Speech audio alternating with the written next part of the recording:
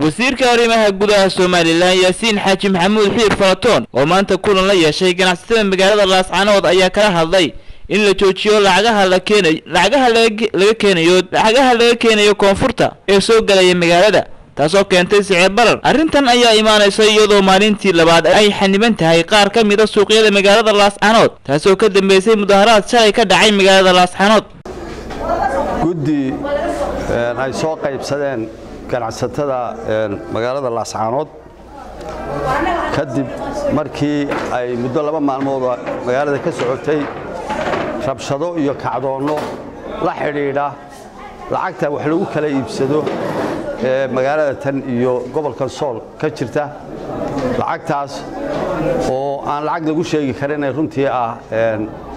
maxaa to karansi ama lacago waraaqaa oo kala jaadjaada oo dhowr nooca oo dadku ay kala garanayaan aniga laakiin de isugu kay mid ah oo dad qaarkeed dadku diideen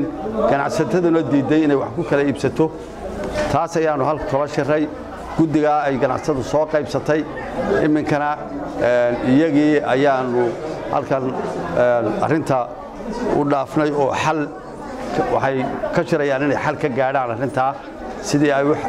mataqaanaa ay xal ugu heli lahaayeen oo lacag ay qaadan karaan ama isla waafaqsan yihiin oo magaalada laga isticmaalo ama gobolka laga isticmaalo ay ugu heshiin lahaayeen. Mawlid cali star t v laascanood